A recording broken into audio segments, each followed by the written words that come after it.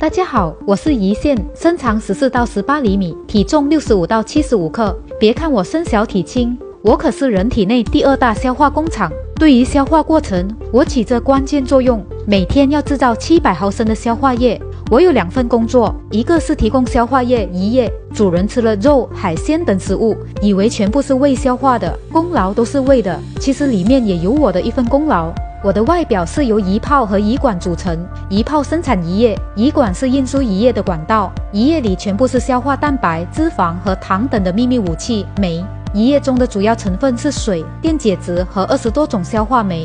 它通过管道被运输到十二指肠，参与消化工作。主人吃下的食物必须经过我的加工，才能被人体消化吸收。比如把一块肌肉变成可以吸收的小分子营养物质，就要依靠胰液的帮助。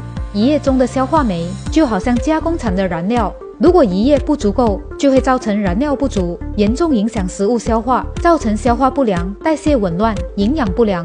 第二份工作是由内分泌完成。我的身体犹如一片汪洋大海，内分泌腺是由上百万像小岛一样的细胞群胰岛组成。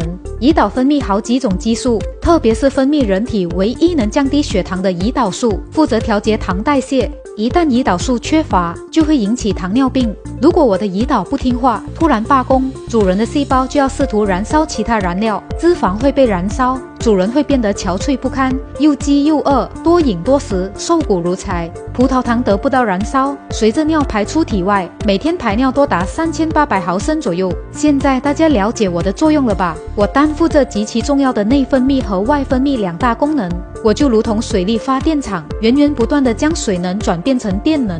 但是我也会生病啊，轻者发炎，重者得癌。江湖上传说患癌症的我是癌症家族中的王中之王。委屈的是，很少人重视我。当发现我病了，通常就已经进入晚期了。这个地方痛，主人一定要注意了。左上腹长期慢性疼痛，疼痛有一个特点：闷胀痛，甚至腰痛，夜间更加明显。人们口口声声说我生病不容易发现，这个能怪我吗？我也挺冤枉的。人们只抱怨结果，而不去想结果是怎么造成的。人们经常给我施加压力，首先就是高蛋白质和高脂肪食物。主人经常暴食暴饮，大鱼大肉拼命往嘴里塞，痛快了嘴却折磨了我。为了消化这些食物，我必须超负荷工作，胰液分泌多了，但是运输胰液的胰管仍然是那么窄，一下子承载不了快速分泌的胰液，胰液被迫流进胰腺组。织里，胰液虽然是我生产的消化武器，但是它是六亲不认的，导致我受伤。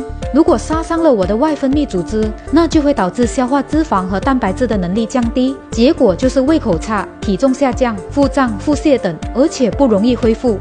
如果杀伤了我的内部，那可能就会导致糖尿病。如果胰管阻塞，消化酶外溢，周围的一切都会被破坏，人体组织会被当作食物来消化，这就是让人害怕的急性胰岛炎。还有主人一喝酒，我又不得不战战兢兢面对一场硬仗了。喝着酒，吃着烤肉，嘴是畅快了，但是我要很久才能恢复过来。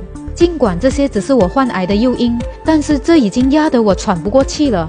不想我得病其实并不难，那就是善待我，不要常常让我超负荷工作。一天不要吃超过五份蛋白质，多吃蔬菜水果和粗粮，不要暴饮暴食。最怕的是你们大吃海鲜加喝啤酒，我实在是顶不住啊！如果主人善待我，我保证为主人服役一辈子，而且不给主人添任何麻烦。讲完啦，关注易学，如果学到了知识，记得分享给朋友。